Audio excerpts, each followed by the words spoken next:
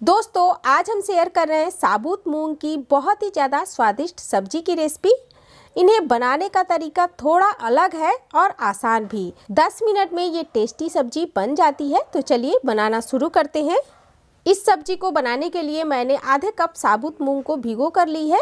चार से पाँच घंटे में ये अच्छे से फूल जाते हैं। साबुत मूंग की जगह मूंग दाल भी ले सकते हैं भिगोकर। अब हम भिगोई हुई मूंग को मिक्सर जार में डालेंगे। इसके अंदर डालेंगे दो हरी मिर्च और एक इंच अदरक के टुकड़े। थोड़ा सा पानी डालकर हम इन्हें पीस लेंगे। देखिए, हमने महीन पेस्ट बनाया है इनका और इनको एक बॉल में निकाल लिया है। अब इसमें डालेंगे एक चौथाई चम्मच हल्दी पाउडर और आधा छोटा चम्मच नमक। इनको हम अच्छे से मिक्स कर लेंगे। दो से तीन मिनट हमने इनको फेंट लिया है और ये काफ़ी हल्के हो गए हैं। अब इस पेस्ट से दो चम्मच पेस्ट हम एक अलग बाउल में निकाल लेते हैं। इनका इस्तेमाल हम ग्रेवी में करेंगे।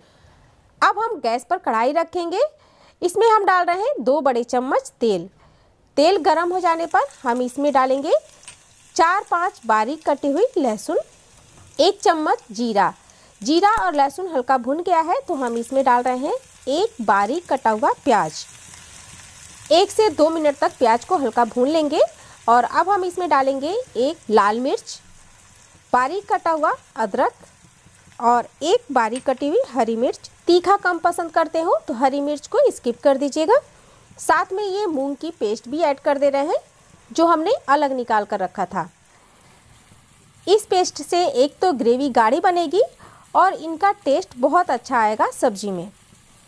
तो देखिए, दो से तीन मिनट तक हमने इनको भून लिया है। अब हम इसमें टमाटर ऐड कर देंगे।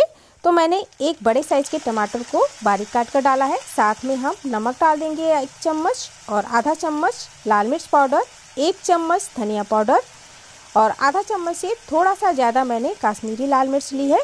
एक चौथाई चम्मच इसमें हम हल्दी पाउडर ऐड करेंगे। तो देखिए, अभी इन मसालों को भूनना नहीं है, सिर्फ़ मिलाना है। तो मसालों को अच्छे से मिला लेंगे। और इसके अंदर हम डालेंगे आधा कप पानी। टमाटर भी अच्छे से गल जाए और मसाले भी भून जाए तो इसके लिए हम क्या करेंगे? हम लेंगे दूध वाली जाली। दो काम एक साथ हो जाएगा इस तरह से। अब इनके ऊपर हम ये बढ़िया तोड़ेंगे। दूध वाली जाली ना हो तो मसालों के बीच में एक छोटी कटोरी रखकर उसके ऊपर प्लेट रखिए और उसके ऊपर बढ़िया तोड़ लीजिए, जैसा कि मैंने पिछले वीडियो में बताया था। चाहे तो अलग से भी बड़ियों को स्टीम करके ले सकते हैं, लेकिन इस तरह से सब्ज़ी जल्दी बन जाती है। अब इनको कवर करके पाँच से सात मिनट तक स्टीम कर लेंगे। इन बड़ियों को स्टीम करने में पाँच मिनट का समय लगा है और ये बड़ियाँ स्टीम हो गई हैं। और इनको आप गरम गरम में ही इस तरह से जाली से निकाल लेंगे तो ये आसानी से निकल जाएँगी और ये जाली में चिपकेंगे भी नहीं। तो चलिए, अब हम इस जाली को कढ़ाई से निकाल लेते हैं और इन बड़ियों को अलग कर लेते हैं। इधर मसाले भी अच्छे से पक गए हैं। टमाटर सॉफ्ट हो गए हैं तो एक से दो मिनट तक इन्हें हम चलाते हुए भूनेंगे। मसालों से ऑयल सेपरेट होने लगा है। तो हम इसके अंदर डालेंगे पानी। तो मैंने डेढ़ गिलास पानी ऐड किया है। जब हम इसके अंदर बढ़िया डालेंगे तो बढ़िया पानी एब्जॉर्ब करेंगी और ग्रेवी गाढ़ी हो जाएगी। ग्रेवी में उबाल आ जाने पर हम इसमें बढ़िया डाल देंगे और साथ में हम डाल रहे हैं थोड़ी सी कसूरी मेथी।